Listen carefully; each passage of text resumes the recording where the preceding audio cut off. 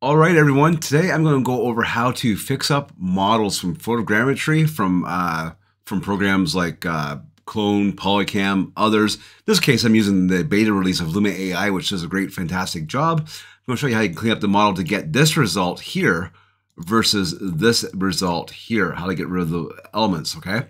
So nine times out of 10 within WorldCast, you can get rid of elements like this. I'm just going to bring this other model over just for illustrative purposes.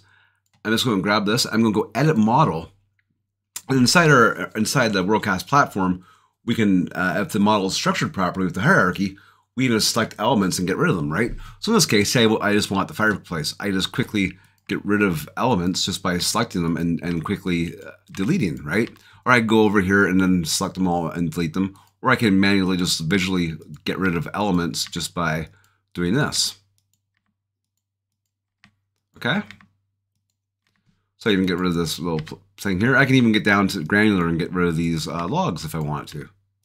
And all I have to do is just go File, uh, Save the Studio and Close, and it's just going to spit out just the fireplace with what I left, right?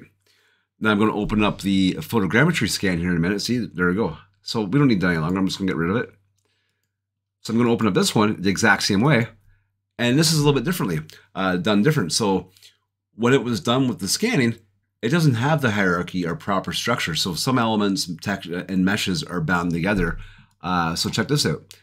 If I want to get rid of this, this plane here, it's attached to a lot of other elements, okay? So if I just hit delete like I was in the other one, see how it grabs other elements? Now that's not ideal, right? Just do that again. So that, that's obviously not going to work. So I'm just going to close that.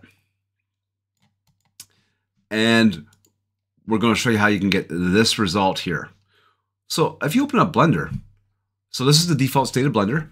So right off the bat, just grab all the elements, light, the cube, and all the elements on the screen, just delete, and simply go File, Import, GLTF, and grab the file that you exported from your uh, program of choice. In this case, I used Luma AI Beta Edition.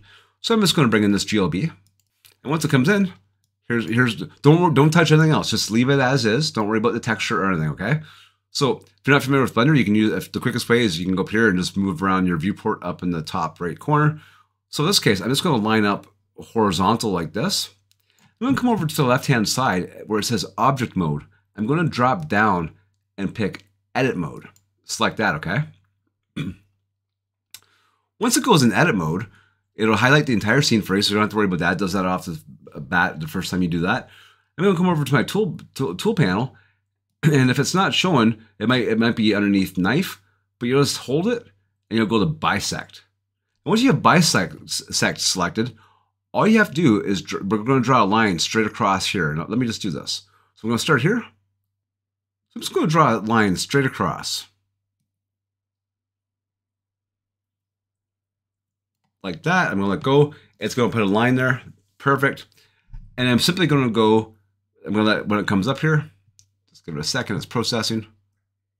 Hi, I'm quickly just popping this video in here as I noticed my video was overlaying where I was talking about the bisect. So I just want to do a quick little mini tutorial inside the tutorial. So when I'm talking about the bisect, uh, bisect once you have it across, what, what my uh, video is hiding is there's this little option down here that says bisect what you do is open it up and here's where you have your options for the uh, clear inner and clear outer, which I'm talking about. So in this case, when I go clear inner, it will get rid of the objects, uh, uh, the bisect. And this is the, this is the dialogue that my uh, camera was hiding. So whenever I mention that, this is the dialogue that you need to use. And I'm simply going to go clear inner. So once we have that, let's just rotate it around right? We see there's elements left, right? So sometimes you just find the most efficient way to cut down between the middle to make the last work. Now, this is the best way. I know how to do this quick and easy. Uh, I'm sure there's other ways, but this is the best way I found to do it quick and easy for uh, the majority of things. So again, I'm, I'm, so I'm going to just hit the A on the keyboard, which is going to select the entire scene again. I'm going to leave my bisect tool on. I'm going to draw another line, we'll start up higher. I'm going to go straight down between these. And we're going to go clear outer. I could have done that a little bit better, but well, let's do it real quick again. Let's go A. Again, clear outer. And let's just do it for these ones over here. So again, we'll just go A, draw a line straight or a little bit of an angle. We'll go clear inner. All right, last one. We're going to do one more time.